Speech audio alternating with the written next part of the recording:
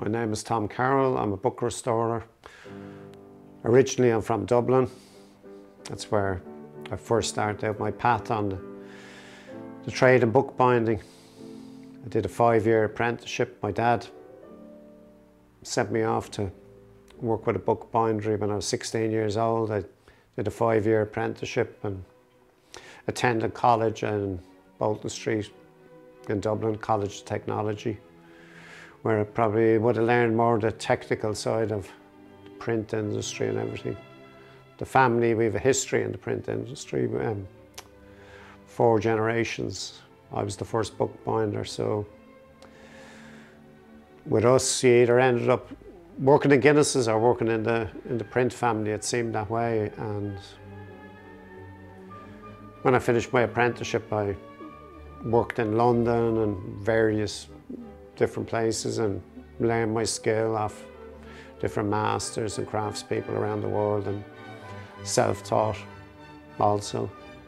And eventually I re returned here to Waterford and we built this workshop and that's where I'm working from now and have been for the last 20 years.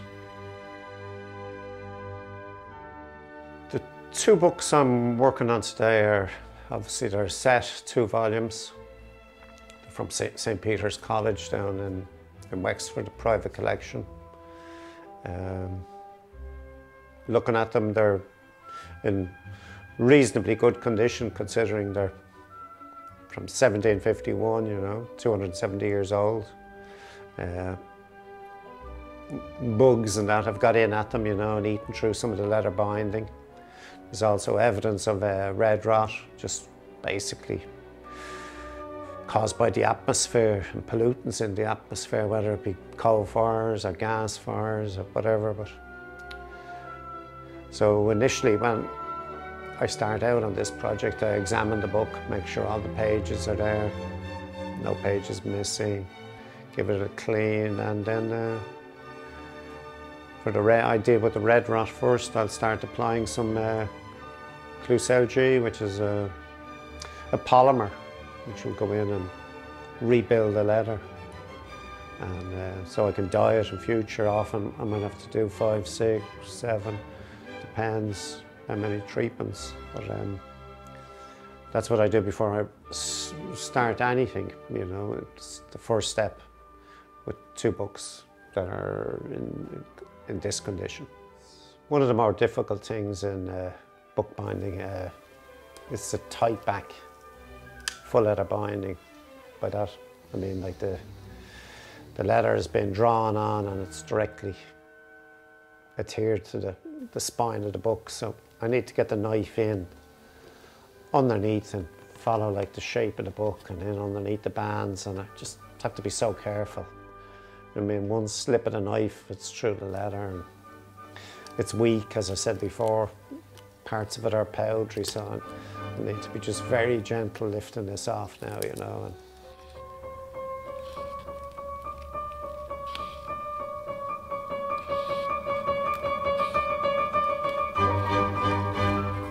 As you can see, you can see the spine of the book now. It was sewn on five cords and I've cleaned that off a little bit and uh, I'm going to line it with some Japanese kozo paper and uh, I'll use some methyl cellulose for that and just mould it in that this will help somebody maybe in the future if they ever have to lift this again or the spine that is off the book it'll aid them and plus I'm using completely reversible materials.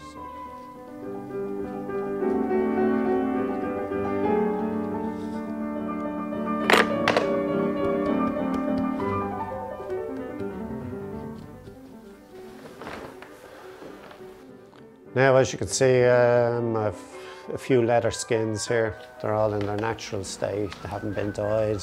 Normally I buy them like that because I can dye them to whatever colour I like. So I'm just going to cut out a couple of pieces actually that's suitable for these two bindings to, to reback them.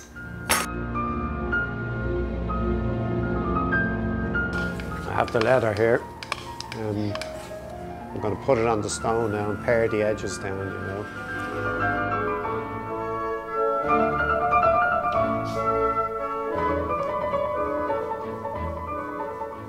And uh, once I pare around the edge, we'll go over uh, to the Brock pan and we will tin the leather down. This is a, a little gadget or machine a friend of mine, Stuart Brockman, his father, uh, created. And it helps me tin down the leather quicker, which is good. And uh, I'm going to tin down this leather so it, I can get it to the right thickness to go onto the spine. And then I'll bring it back over here to the stone. I'm paring it again and um, it's ready to uh, go onto the binding.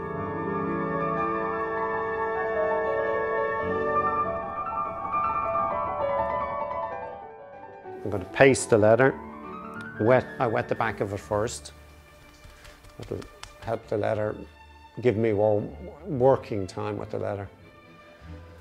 So um, we let that sit there for about five minutes and uh, then I will uh, get the book into the press and then we will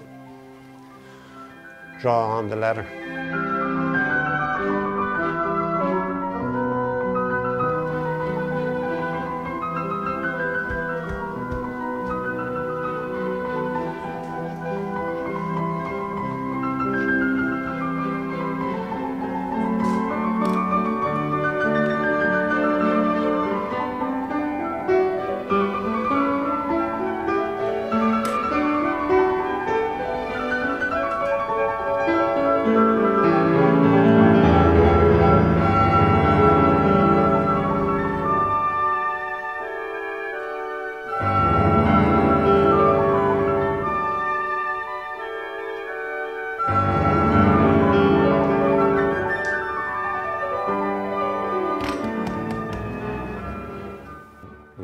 Book out of the press and I lay it down flat and I'm going to turn in the, the top head cap and the bottom head cap.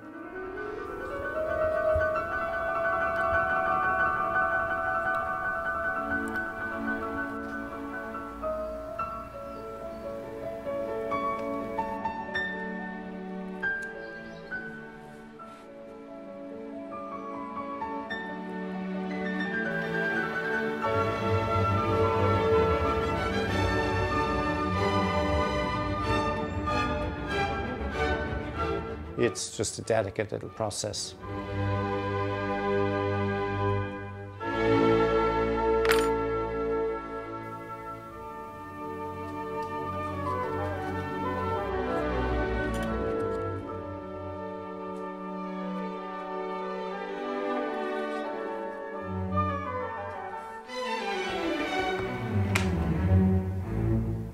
I want the old piece to go in over it smoothly.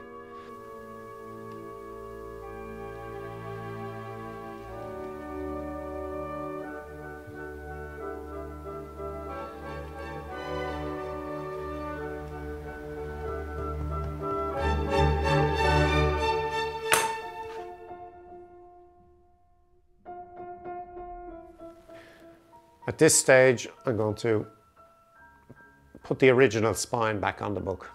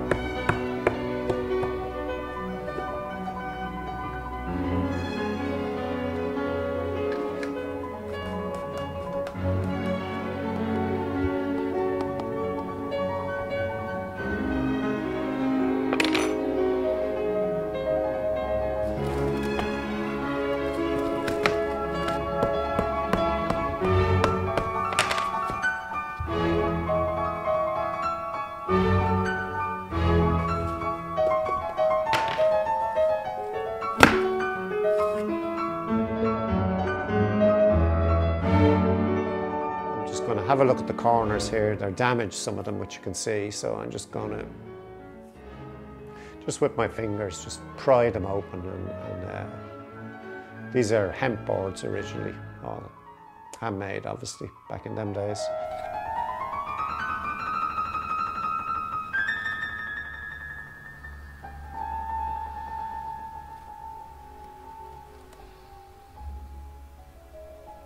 We leave that there now. Do all the corners, we leave them for three or four hours, or sometimes longer. And uh, then we'll go back and we'll apply some leather to them corners and, and fix them.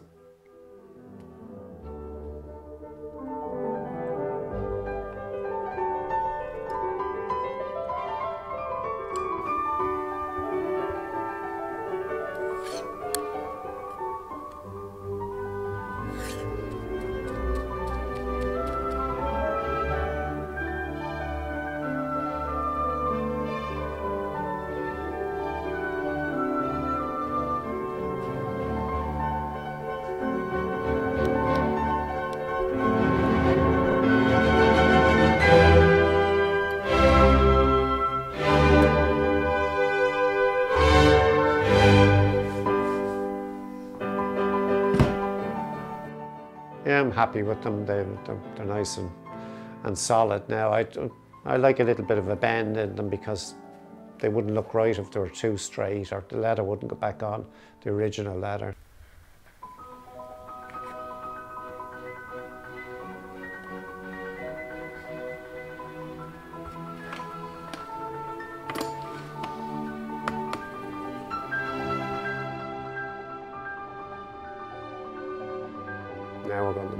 To um, dyeing the leather. And I've a few different little small brushes for this and different colour dyes because these were marble boards originally and other damage that had, had been done to the book over the years, you know, not being treated properly. So I have to try and blend that in and match it in, which is what I'm doing now, you know. And I need to go at this like a few times, come back and forward, back and forward. So it's an ongoing process to get it right. So um, it seems to be going good. I'm happy with the results so far.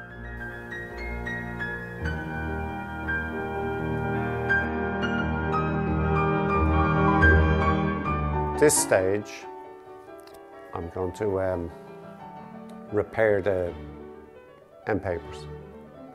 And with this book, considering it's from 1751, like I mentioned before, um, it's quite fortunate that the, the original end papers are still intact and just very little damage, uh, evidence of little bugs going in to feed off the animal glue on the, the spine of the book. But other than that, just mm, they're in great condition.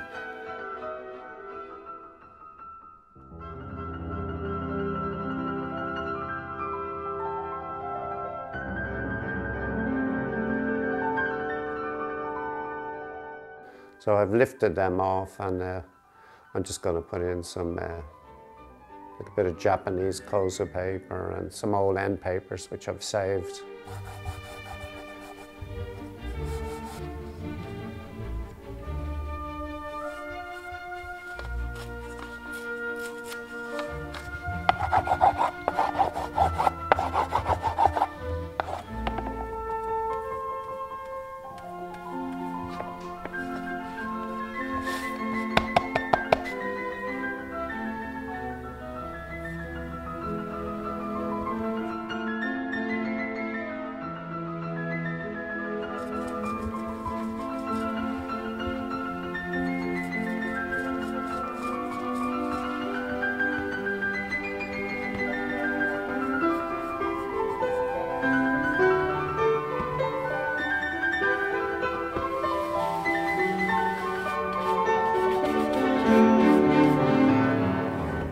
Quite amazing actually, considering like the last time this was pasted down was 270 years ago. So